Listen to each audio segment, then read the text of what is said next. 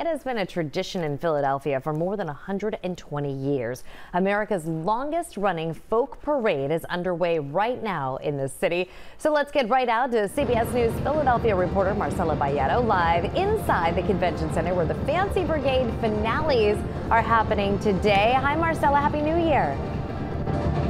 Happy New Year, Jessica. That's right. We are live inside of the Philadelphia Convention Center, and this is where we get to spend the very first day of the new year. Right behind me, you can see performances are already underway. From this angle, it's really awesome because you can see all the stagehands, the real behind the scenes that go into all the people that are moving these big props into set designs that people can navigate and continue with their performance. Now, they've been spending months learning choreography and perfecting their craft for this audience right here. Now, this is considered almost like a rehearsal show for the main one. That's going to be happening later today at 5 p.m. But we did catch up with the Fancy Brigade Association earlier today to hear why this yearly celebration is so important to them.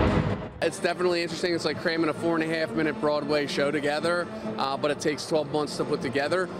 It's, it's really something to see. It's a spectacular uh, presentation. Now earlier today, we were at the parade and this morning, and that's when we saw Center